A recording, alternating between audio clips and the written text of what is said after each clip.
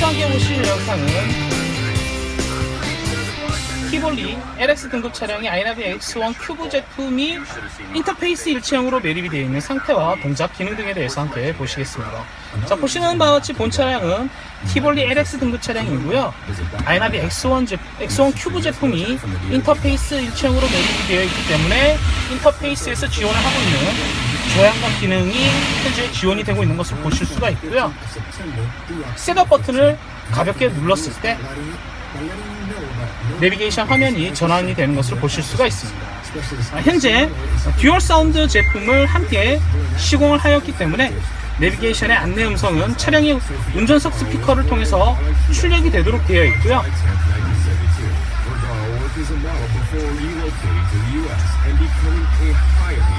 The.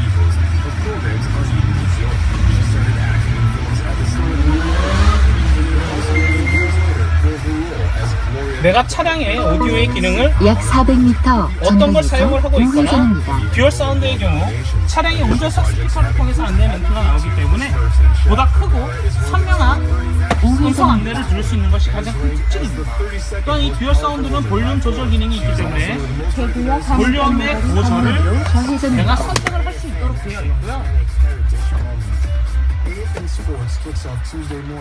차량의 순정 오디오의 기능을 어떤 걸 사용을 하든지 간에 우회전입니다. 내비게이션의 안내 음성이 선명하게 표시가 된다라는 잠시 후 주정차에 주의하십시오. 가지고 있습니다.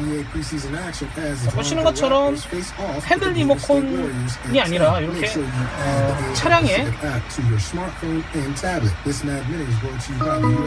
약 500m 전방에서 메인 버튼을 조작을 하게 되면 주의하십시오. 순정 화면이 속도 워터마크 형태로 70km 구간입니다. 지원이 되는 것을 보실 수가 약 있고요. 300m 전방에서 셋업 버튼을 눌렀을. 때 잠시 후 순정 신호와 화면과 과속에 주의하십시오. X1 큐브 화면으로 자유롭게 약 전환을 할 수 있는 기능이 500m 전방에서 현재 지원되고 있습니다. 시 실청 방면으로 지하차도 옆길입니다. 아이나비 X1 큐브 제품이 티볼리 LX 차량의 잠시 후 동대관 인터페이스 내리는 방면으로 지하차도 옆길입니다. 아이나비 S1 큐브 제품의 동작 그리고 듀얼 사운드가 연동되고 있는 상태를 함께 보셨습니다. 감사합니다.